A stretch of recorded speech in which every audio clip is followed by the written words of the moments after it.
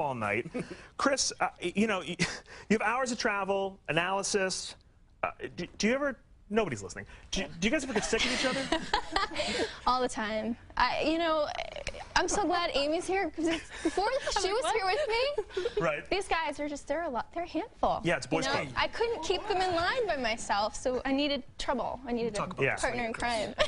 But is it a big but family? I mean, is that it kind of the idea? It is. I mean, honestly, I feel like I gained four brothers in a lot of ways, and more with our GHI We're like guys. extended family. Extended family. Extended family. The weird cousin. right.